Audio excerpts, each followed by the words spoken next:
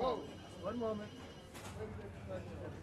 Scott Welch, the manager, was really intent on it being a rock band. When it came time to go on tour, we auditioned. We auditioned tons of people. Alanis put the band together from tryouts. And we played, and I could play it really loud, and she didn't give a shit. So I couldn't remember her fucking name. I, Atlantis. I just Alanis. I've never even heard that word. That's not. I don't know anyone else named Alanis, so I couldn't remember the name.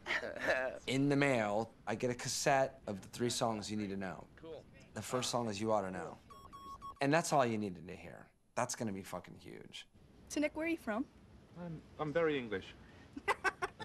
Nick Lashley was the guitar player in English Cat, Oh, dear. and he can do all the cool noise effects, and he's really a great lead guitar player. so, Jesse, where are you from, dude? Uh, from Austin, Texas. Yeah. The guitar player, Jesse, played with the Chili Peppers very briefly. Jesse Tobias and Nick Lashley had a wonderful kind of interplay where they were able to cover all the parts that we had on the record and add a huge amount of power to it. Chris, do you like to practice? Hate practice. The bass player, Chris Chaney, was an accident. She called the wrong person back, and we tried him out, and she's like, I didn't mean to call this guy. I didn't mean to call this guy. I swear. I just was me. I just showed up what I was wearing.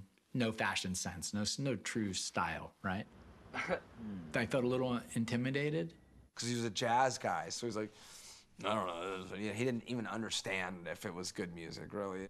And I was like, well, you know, you've missed the last five years, so here's fucking Soundgarden, and here's Jane's Addiction.